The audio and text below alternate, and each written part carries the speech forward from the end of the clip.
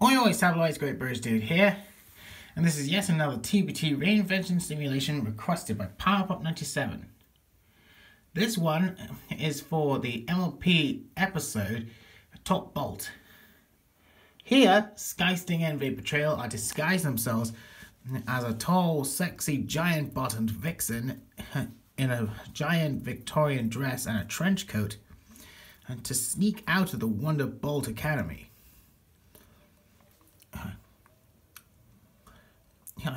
The tall vixen walks sexily past the guards outside. But then they see Rainbow Dash wearing her Wonderbolt uniform.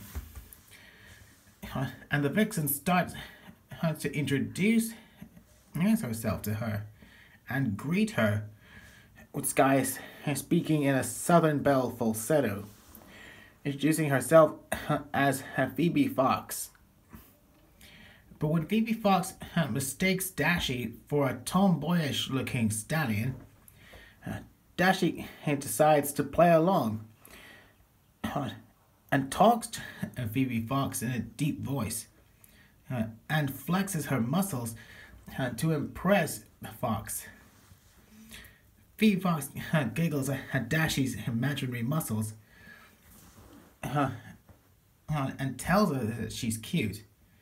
Then she starts to sexy walk away. And Dashy he thinks that uh, she has fooled them as much as they fooled her. Uh, while also, you know, ogling Phoebe Fox's uh, voluminous backside and wiggling at her.